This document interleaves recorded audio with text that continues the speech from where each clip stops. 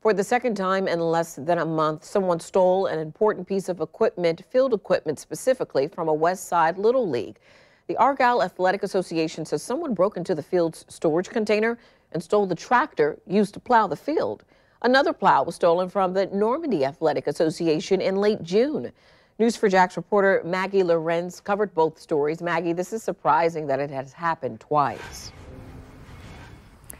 It really is, Janice. I talked to the president of Argyle Athletic Association here, and he says due to the similarities, he thinks that someone is targeting these little leagues. Take a look here. I want to show you. This is the storage container where he says that the tractor was stolen. He says that the thief didn't even have to break the lock. They just busted open these hinges because this storage container, it's fallen apart.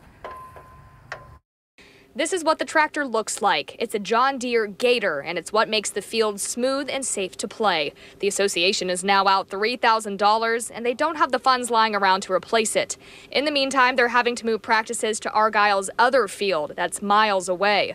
The president of the association, Jeffrey Eads, has this message for whoever is stealing this field equipment. Unfortunately, I, am very sad. Uh, you know, obviously it affects the kids. Um, you know, I'm just a volunteer just like anybody else. It affects the kids, so it's more about the kids for me. It's taking away from the kids. When you rob from an, an, any athletic association like us, you're robbing from the kids. Association is now working with the city of Jacksonville to come up with a more secure solution. Eads says that Councilman Randy White told him that he would help partially fund construction of a new building that would replace these aging storage containers.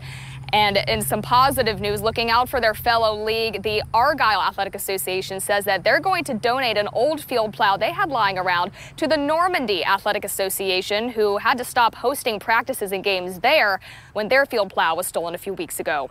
Live on the west side, Maggie Lorenz, Channel 4, the local station.